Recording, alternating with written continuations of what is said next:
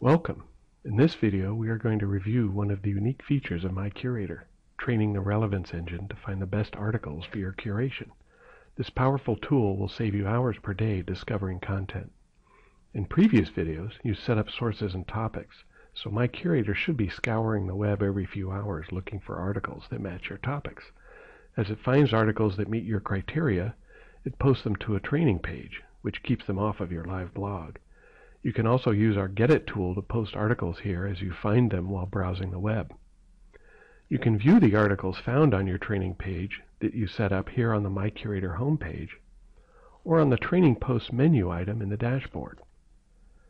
We'll start with your training page by clicking on the link to MyCurator training page on your site over here in the Important Links column. On the training page, you'll see all the articles found by MyCurator so far in a blog format.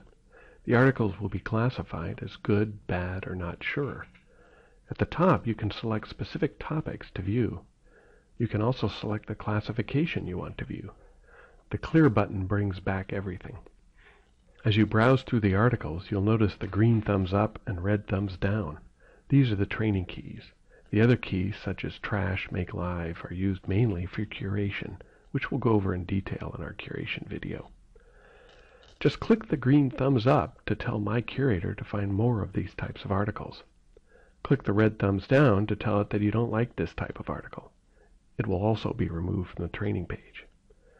MyCurator will use your feedback and get better at classifying the articles it finds. After training 10 or 20 articles, you should see that MyCurator becomes very accurate at classifying what is good and bad.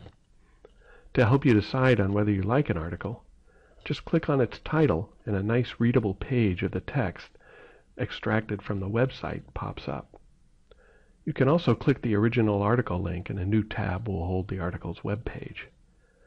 The Quick tab also pops up the readable page and lets you add some notes and comments and publish to your site or just make it a draft post.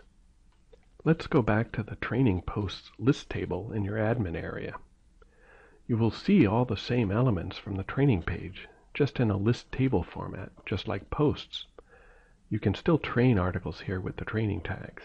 You can also bulk train by checking multiple articles and choosing train good or train bad.